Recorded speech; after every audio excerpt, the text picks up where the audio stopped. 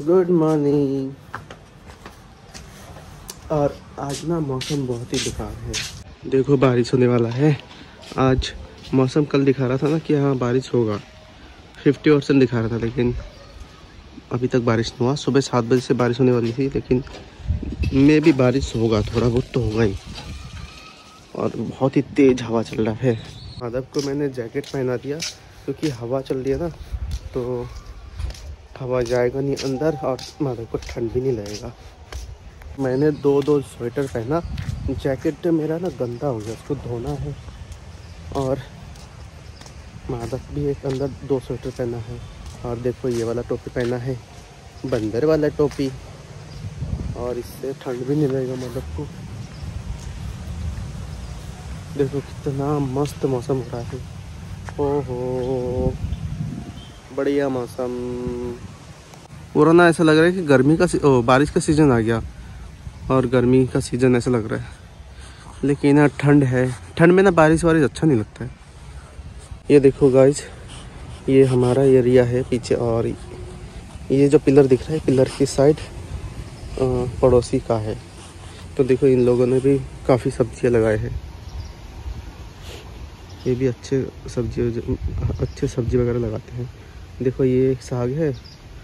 पहले देखो एक अरबी में पानी जाता है, फिर ये साग में पानी जाता है और इस साग से फिर अरबी में पानी जाता है। गाइस जैसे कि देखा आप लोगों ने कि इनका पानी जितना भी किचन का है और नल का पानी सब मतलब खेत में आता है। तो हमारा भी ही पानी ना खेत में आता है। ठीक है, अरबी के खेत में जाता है जो कि अंदर है। तो बहुत लोग बोलते हैं ना, पानी वेस्ट करते हैं तो पानी वेस्ट नहीं करते हम। हम ज़्यादा मतलब नल चला के इसलिए यूज़ करते हैं ना, कि मतलब अच्छे से धो भी जाए और पानी पीछे खेत में भी देना हो जाए। इसलिए हम थोड़ा ज़्यादा पानी चलाते हैं वेस्ट नहीं करते। अब मान लो कि हमें अरबी अरबी अरबी खेत में पानी तो देना ही होता है। हम अलग से पाइप लगा के चला दे तो वो बात एक ही हो जाएगा। तब आप बोलोगे नहीं कि पानी वेस्ट कर रहे, तब बोलोगे कि आप, कि ये खेत में दे रहे हैं। तो हम सोचते कि यार पानी यूज़ करने के साथ हम पानी अपने खेत में देते हैं तो एक काम से दो काम हो जाता है। ठीक है? और कोई रीज़न नहीं है बहुत लोग बोलते हो कि पानी वेस्ट करते हैं ऐसा कुछ नहीं है। एग्ज़ाम्पल के तौर पे आ, मैंने आपको दिखा दिया कि देखो ये लोग भी अपना पानी यूज़ करते हैं ये नाला है नाले नाले से सीधा ये देखो सब सब किचन का पानी आ रहा है। ठीक है? अब इनको ये वाले अरबी में तो देना ही है पानी। ठीक है, एक दो दिन बाद तो देना ही होता है, क्योंकि अरबी में अरबी में पानी काफ़ी चाहिए होता है, ये तो सबको पता है। अरबी हो गया, फिर देखो खेत हो गया, इन सब में पानी कहाँ से देंगे? इसी से तो देते हैं। चलते अंदर, मेरा हाथ भी दर्द होने लग गया। एक हाथ में बहुत टाइम से ही बैठा है ये। और अभी दूध वाला आएगा तो चाय वाय पियेंगे, नाश्ता करेंगे। और फिर क्या करेंगे? हमारे पास तो अभी कोई काम नहीं है। ना मेरे पास काम है। आज सुबह मैं ना थोड़ा लेट उठा था, अपना काम कर नहीं पाया मैं। तो चलो नाश्ता वास्ता करके इसको माधव को, इसके मम्मी के पास देखे उसके बाद मैं अपना काम करने चले जाऊँगा उसको इसके गाड़ी में बिठाते हैं, लेकिन इसका ना जूता नहीं मिल रहा है। तो गाइस आज ना मैं धोने वाली हूँ कपड़े और बाहर का जो मौसम है ना, वो भी बहुत गंदा है। मतलब हवा चल रहा है प्लस ठंडा है प्लस बारिश भी है। मतलब समझ लो आज का जो दिन है ना, बहुत बेकार जाएगा, बहुत ही ज़्यादा। और लाइट एक बार जा रहा है, एक बार आ रहा है, लेकिन मेरा मशीन बंद नहीं हो रहा है, क्योंकि ना इन्वर्टर है और इन्वर्टर की वजह से ना थोड़ा सा चल रहा है मशीन तो मैं बंद नहीं कर रही हूँ। मैं सोच रही हूँ कि एक बार में ही मशीन को घुमा देती हूँ इन्वर्टर में, जब इन्वर्टर में चल रहा है मशीन तो बंद क्यों करूँ? जब लाइट आएगा तब मैं मोटर चला के धो दूँगी। तो एक दो बैज ना मैंने इन्वर्टर से ही चलाया है। अच्छा खासा चला मेरा मशीन तो ये तो पूरा सूख गया है। अभी यहाँ पे ही मैं सुखाऊँगी, बाहर लेके नहीं जाऊँगी, क्योंकि ना बाहर हो रहा है बारिश। मतलब हो रहा है ठीक ठाक ही बारिश हो रहा है। अभी ठंड में उतना हैवी बारिश तो होगा नहीं। तो वेदर बहुत ख़राब है आज का। तो यहीं पे मैं ना सुखा दे रही हूँ और ज़्यादा कपड़े है नहीं, मैं बस दो ही बज कपड़े धोए मैंने। तो इनको ही मैं इधर ही सुखा दूँगी, यहीं पे सूख जाएँगे। अगर नहीं सूखेंगे तो कल पक्का धूप निकलेगा, क्योंकि हम लोगों ने ना फ़ोन में ही वेदर चेक कर लिया था। कल बारिश होगा कि नहीं? तो नहीं होगा कल। कल काफ़ी अच्छा धूप निकलेगा। तो अगर नहीं सूखा तो मैं कल धूप में डाल दूँगी इन कपड़ों को लेके। और दीदी उधर काम कर रही है अपना। मैं फटाफट मशीन चला दे रही हूँ क्योंकि दीदी को इधर पोछा लगाना है ना इस रूम में।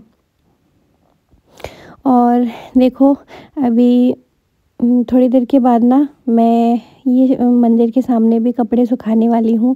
क्योंकि ना काफ़ी सारे कपड़े हैं और एक एक जगह ना सुखाऊँगी ना फिर होगा नहीं। और ये जो चेयर है ना, इसको हम चेंज करने वाले हैं। ये जो चेयर है ना, ये काफ़ी अच्छा चेयर है। और ये ना कम से कम चार पाँच सौ का एक चेयर है तो हम, ये मेरे हस्बैंड ने तोड़ दिया था ये वाला चेयर तो मेरे को बहुत बुरा लगा, दोनों चेयर तोड़ दिया। तो यहाँ पे ना फेरी वाले भैया आते हैं मतलब चेयर कुर्सी लेके आते हैं। मतलब कुर्सी ख़राब कुर्सी टूटा फूटा कुर्सी दो और सौ रुपये दो और एक नया कुर्सी ले लो। तो हम लोग ना सोच रहे हैं कि वही ले लेंगे। तो देखो अभी कितना महँगा देख के अभी कितना सस्ता लेना पड़ रहा है हमें। तो आ, देखते हैं आज आए थे भैया लेकिन मैं थी नहीं घर में। मैं थी नहीं या फिर सोई थी।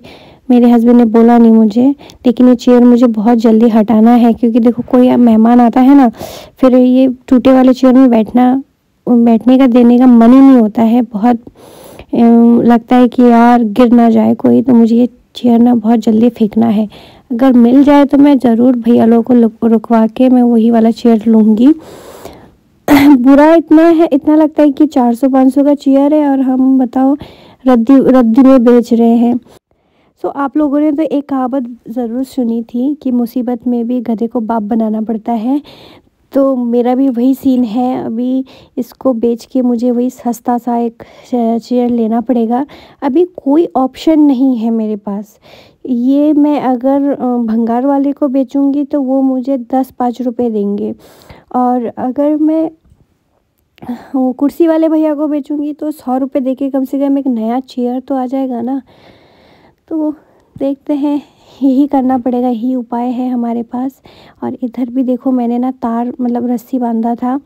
आ, मैंने अपने हस्बैंड को बोला कि देखो अभी ना सामने बारिश आने वाला है तो मुझे कपड़े टांगने के लिए जगह चाहिए। और यहाँ देखो ये सारे कपड़े मैंने ही मंदिर के सामने टांग दिए हैं। मेरी आँखों के सामने अगर रहेंगे ना तो सही रहेगा। मुझे काफ़ी डर लगता है। कि माधव के कपड़े इधर उधर गुम तो नहीं गए, कहीं रह तो नहीं गया। क्योंकि रात भर अगर एक कहीं पे अगर बाहर कहीं रहेगा ना तो फिर दिक्कत हो जाता है बच्चों को। तो इसलिए मैं बहुत केयरफुल मैं अंदर लेके आती हूँ, हर कहीं चेक करके।